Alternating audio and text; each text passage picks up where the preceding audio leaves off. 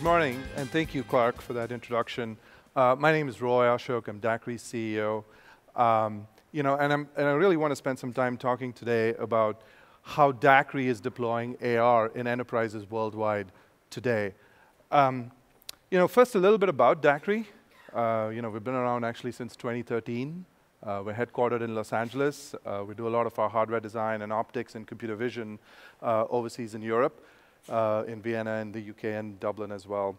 You know, we have been researching and developing AR technologies and experiences for a long time now.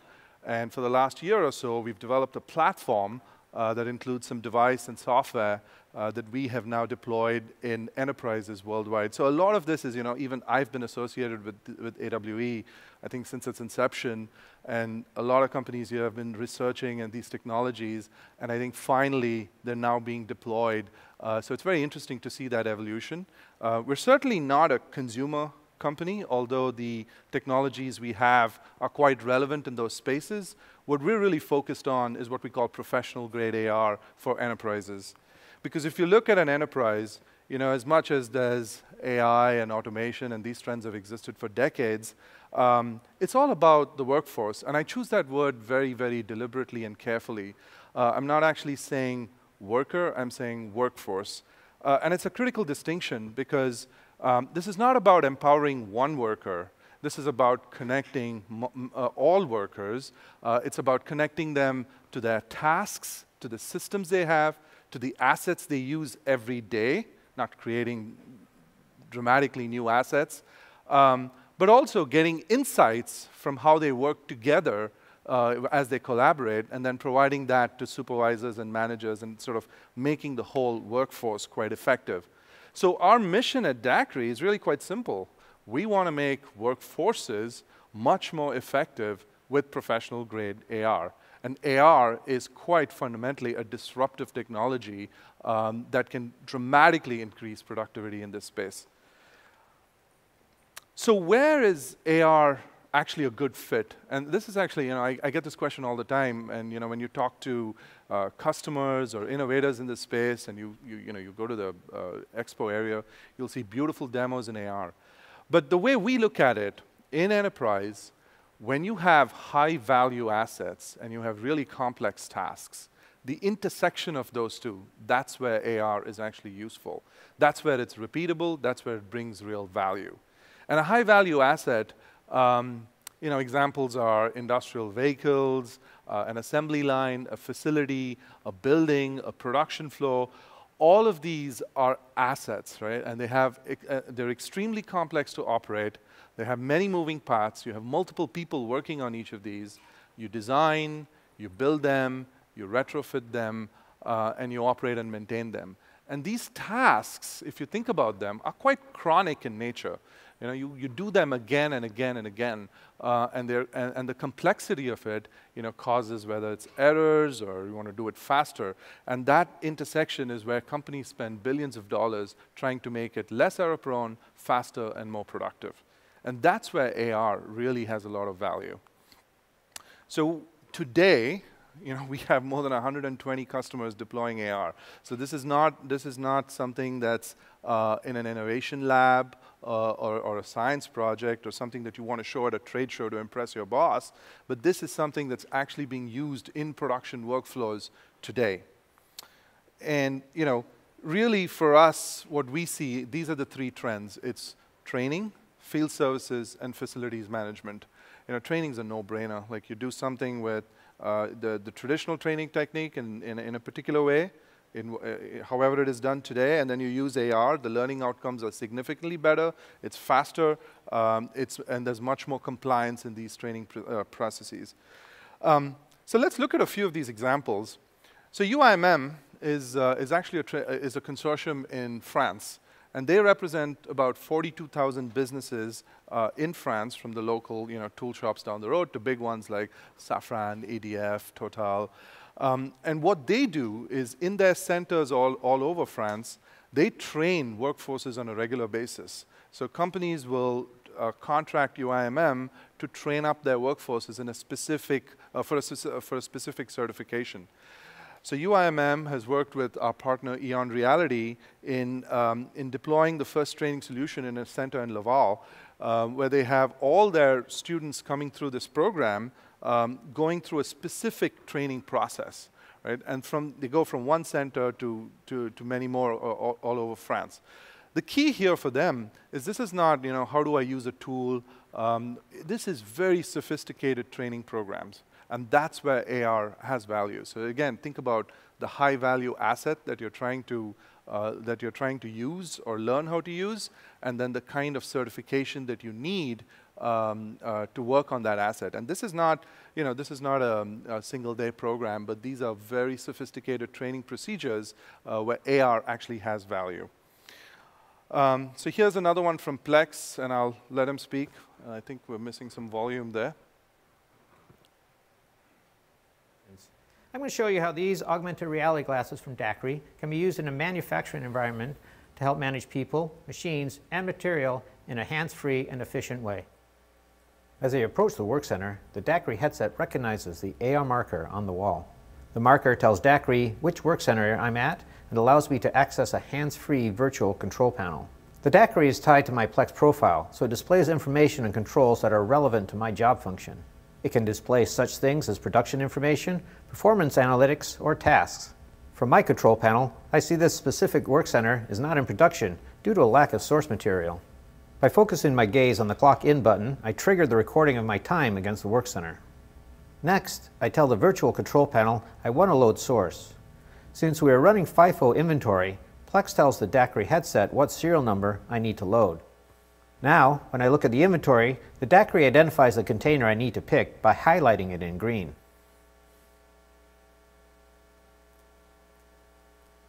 I return to the work center and tell the control panel that I have loaded the correct source. We see the production status turns green and production is ready to run again.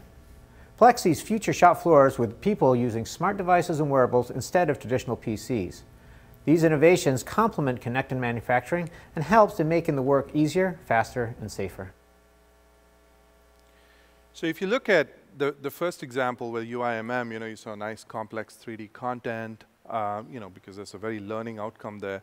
But the Plex example was really simple data. I mean, it's not like visually stunning, but it's extremely functional and very, very useful. The key there is also it's the, the connections uh, to their existing systems. And that was important because you're getting real lifetime data back. Uh, here's another example, Amneal Pharmaceuticals. Um, so they're, um, I think they were, the, they were the fifth largest generics producer in the US. They recently merged with Impax, so they're, I think, the third largest now. So large pharma companies. Um, and what they're using this, uh, uh, the DAQRI devices here for uh, is really, I'm not sure where that's, like. okay, there you go. um, they, they have this facility where they produce medicines, right? And they have these things called air handling units. Now, anytime uh, certain parameters on that air handling unit goes bad or out of whack, the entire batch of medicines has to be thrown away, right? So what they're using this is to empower their workers in the field as they inspect these machines on a very regular basis to get information in a timely fashion and take action right in the field. So it's a huge benefit from really simple um, um, simple data, relatively simple data to, uh, to visualize, but very, very powerful in a work and in in a, in a manufacturing environment. Um, let's talk about closer to home, the city of LA. Um, and this is a very interesting, um, interesting use case. So, you know, a lot of our uh, workforce, at least for the city, is, is aging. And they have two problems with that. One, they're not able to staff up as quickly as they could in the past. And two, a lot of that knowledge is being lost. So they have some really incredible statistics about almost like 60 or 70% of their workforce is just going to retire in the next few years, and they're not adequately uh, staffed to, to replenish that workforce. Uh, so they did a really simple thing, and I'll, I'll, let them talk about it in a second. But this is um, these are uh, these are headphones that emergency services workers use, um, and there's only one person in the city that can actually service that headphones if something goes wrong, right? Just just one person. Uh, it's a contractor actually. So they wanted to figure out a low cost and easy solution uh, to spread that knowledge internally and to remove those single points of failure. So here's a, you know, in terms of just the outcomes of what they, uh, what they found, I mean, the numbers are staggering, right? And I, am pretty sure you've seen this throughout this conference, uh, in other presentations as well, where, you know, the ROI, no one really questions the ROI for using AR in the workforce. What they do question is what's the right solution for it. And so, you know, providing the right product um, which includes the hardware, the software, uh, and, and the user experience for that is, is critical. But the numbers in terms of either whether that's how fast I can learn something or how well I can learn it, uh, there's no question or no challenge on those. There's, there's enough data there to show that AR in the enterprise actually works and is useful.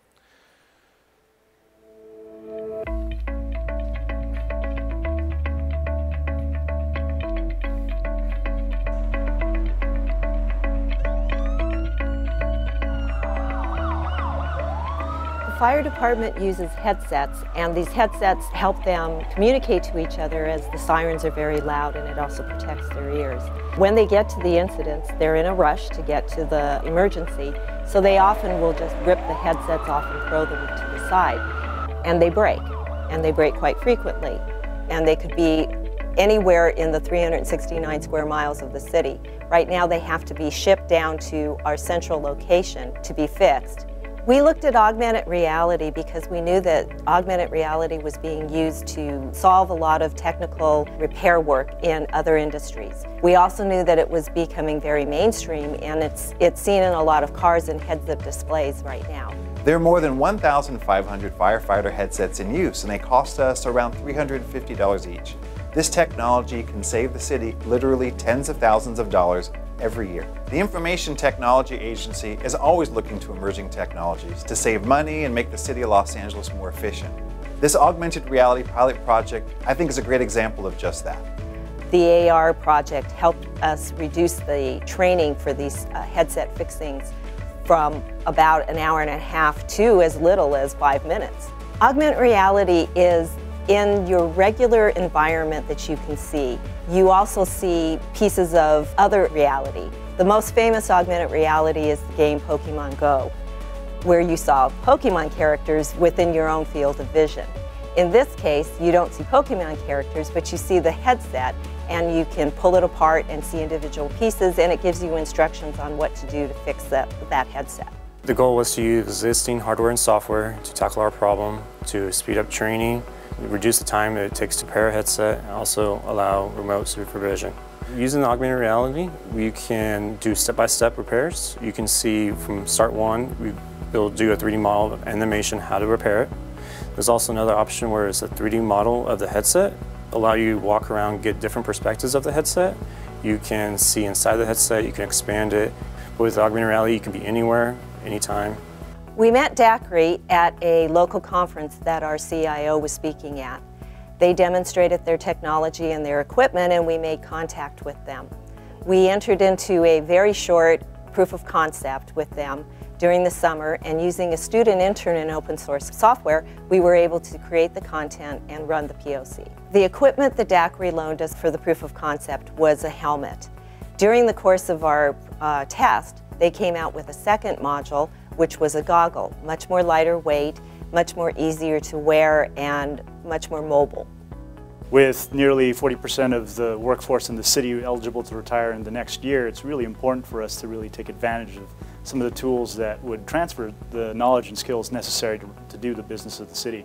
I mean, what better way to try and get the information out of one person's head into another than putting something on top of it. I think you'll find that Los Angeles a little bit more than sunshine and sand now Uh, we have a burgeoning tech sector that includes Google, YouTube, and Riot Games.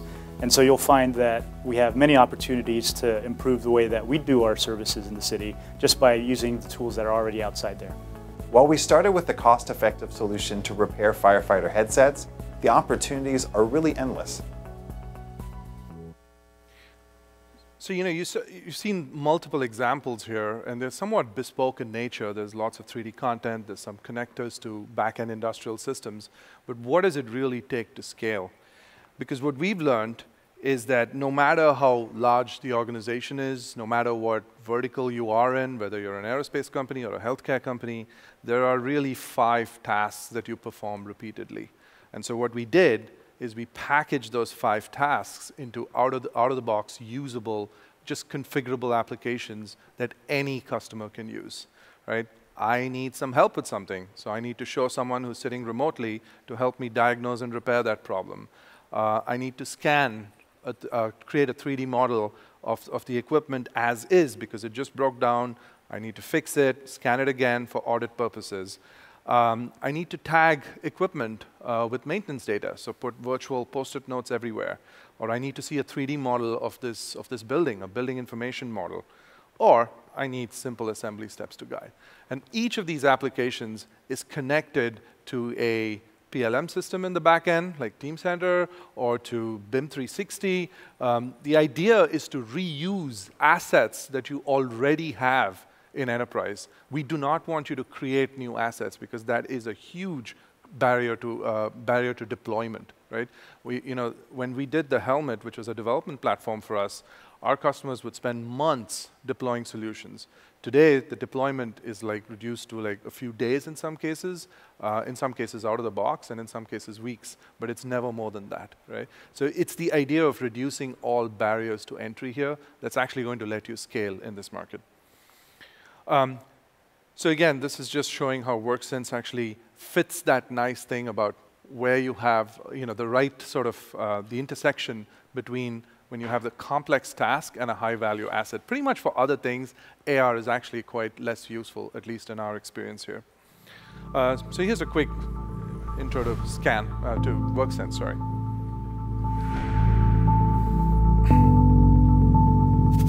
Assembly line 3 seems to be down. Can you help me look at it? I need you to look at the servers on the right. We need to locate EXSI-2. Here, I'll circle it for you. Got it.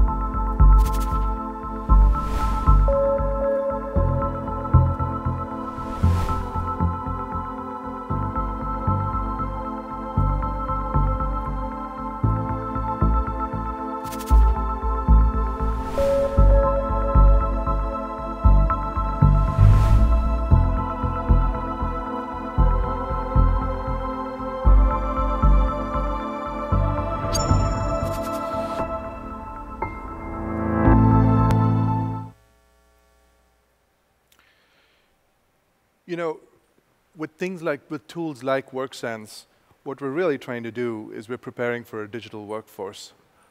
I, was at a conference in April in, uh, in Germany, Hannover Messe, it's like the biggest industrial trade fair there, and a big theme uh, from last year, the theme was Industry 4.0. This year, the theme was uh, the theme was digital manufacturing, but more nuanced way. They used a term called digitalization of the workforce. And I thought initially that I heard it wrong.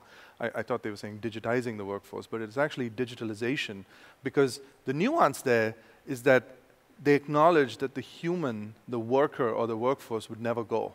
You know, there's, you know, there's, with all this talk about AI and automation and all that, yes, those trends are there, and those trends will have a very disruptive effect on manufacturing and productivity, but the human being at the center of all of that will never go. And so there's this realization that bringing all those technologies together and preparing the workforce for, for an even more digital future uh, is what's key. And DAQRI is really at the forefront of enabling that. So thank you very much for your time. Um, please, you know, we've got a booth in the expo area. I'm happy to answer any questions there or show you um, and talk a little bit more about case studies as well. Thank you.